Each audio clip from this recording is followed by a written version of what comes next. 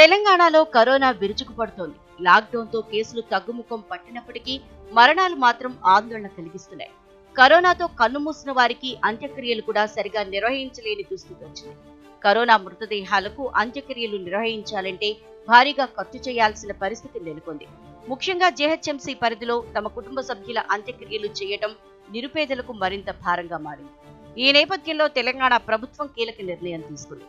Greater హైదరాబాద్లో అంతిమ సంస్కారాల కోసం మృతదేహాల్ని శ్మశాన వాటికకు తరలించేందుకు ఉచిత వాహన సేవలు అందుబాటులోకి వచ్చాయి. ప్రభుత్వ వాహనాల ద్వారా ఇళ్ళు లేదా ఆసుపత్రుల నుంచి మృతదేహాలను శ్మశాన వాటికకు తరలించనున్నారు. ప్రభుత్వం ఈ మేరకు నిర్ణయం తీసుకుంది. జోన్కు రెండు నుంచి మూడు వాహనాలు సమకూర్చారు. వీటి పర్యవేక్షణ కోసం అధికారులను నియమించినా మే ఇరవై ఐదు నుంచి ఈ సేవలు అందుబాటులోకి రానున్నాయి. జోన్ల పరిధిలోని పౌరులు సంబంధిత అధికారులకు ఫోన్ చేసి అంతిమయాత్ర రథం కావాలని అడగవచ్చు. ఈ సేవలు ఉచితం.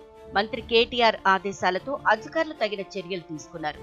ఈ మేరకు పురపాలక శాఖ ముఖ్య కార్యదర్శి అరవింద్ కుమార్ వివరాలు ట్వీట్ చేశారు.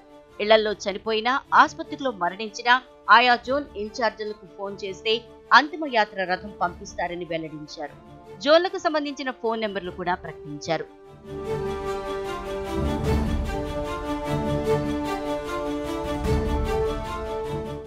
శాంతి కోసం యుద్ధం పరిష్కారం కోసం పోరాటం కొనసాగుతూనే ఉంటుంది.